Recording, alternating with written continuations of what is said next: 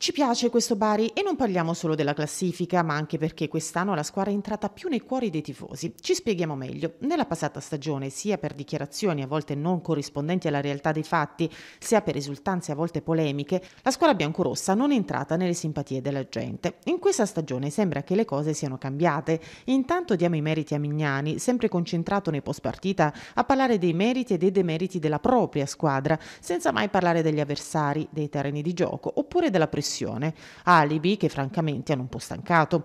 Merito anche del direttore sportivo che oltre ad aver costruito una squadra competitiva ha il merito di uscire allo scoperto quando le cose non vanno bene, dimostrando di essere un vero e proprio punto di riferimento. E infine meriti anche della squadra. Vi ricordate quando in passato si pronunciava spesso, un po' troppo, la frase testa bassa e pedalare? Ebbene, quest'anno lo si sta facendo con i fatti, con calciatori che davvero sposano appieno la cultura del lavoro. Insomma, sembra che il club biancorosso abbia imparato dal passato. La speranza è che questa amalgama possa funzionare fino alla fine del campionato, ma ciò che ci sentiamo di dire in questo momento è che numeri a parte il Bari quest'anno piace di più.